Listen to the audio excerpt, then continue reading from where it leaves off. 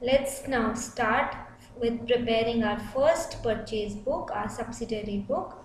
Say the year is 2015. So on date, for once write 2015 year so that you need not write it again and again. 1st February, what are the transactions? Purchase from Modi Enterprises 5 torches at the rate 200 per torch, 2 gas lighters at the rate 100 per lighter, less trade discount at the rate 10%. So, okay, 2015 1st February, we'll be writing the name of the organization or name of the supplier from whom I am I have purchased on the top MS Modi Enterprises.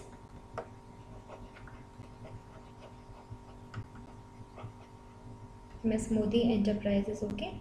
Five torches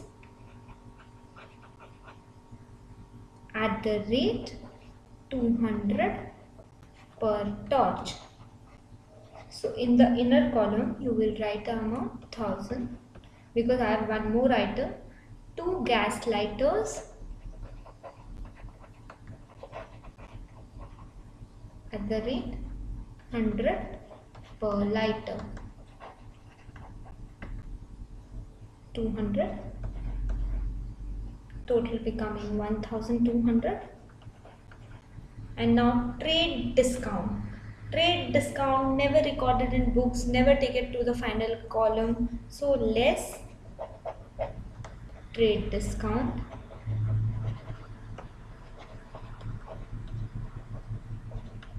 At the rate 10% that will be 120 and the final amount of purchases to be recorded in my books is 1080 okay.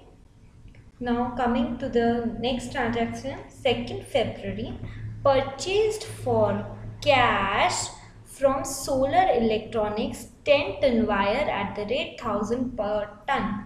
Now my question is, do you record a cash transaction in your purchase book? The answer is no. All the cash transactions will be recorded in the cash book. So you have to omit this transaction altogether. If you record a cash transaction in your purchase book, that is wrong. So next, I will just omit this transaction and move on to the other. 3rd February from MS Millennium, Millennium Crafts on credit purchased computer with printer for rupees 60,000. Now computer with printer, I am not dealing with computers and printers. This is not my stock. If I don't deal with them, so what is it? Computers and printers are fixed assets from me. Do I record fixed asset in my purchase book? No, I record only in purchase book the items from which I deal daily. I purchase and I sell those items or the material is forming a stock for me or a raw material. So the purchase of computer and printer which is an asset I will never it in my enter it in my purchase book. How can I, enter purchase of a asset in my purchase book? It is not my day-to-day -day business to buy computers and printers.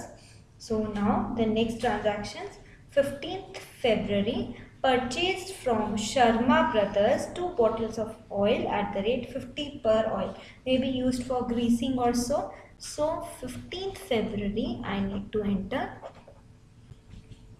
first I will enter the party's name Sharma Brothers two bottle of oil. At the rate 50 per bottle.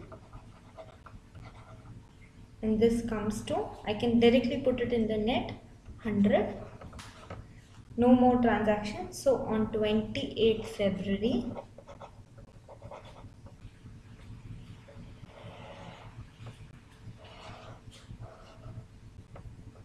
purchases account debit purchase has to be debited right?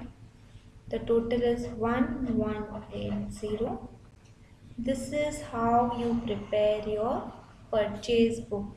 The same way you have to prepare your sales book. See instead of purchase book you will have sales book on the top the debit the details and the party from whom you are purchasing in credit the name should be written on top. Remember to record only credit purchase only credit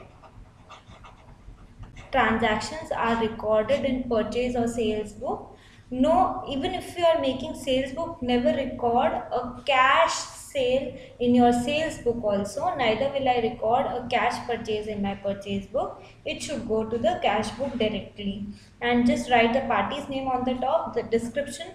Less the trade discount within the inside column take the amount outside. And then also one more point to be noted don't enter any asserts purchase in your purchase book even if it is on credit because that is not the item with which I deal in my daily business. Only items which I deal in my daily business come in my purchase book and my sales book. So sales book also now you can prepare very easily. Next move let's move to the next point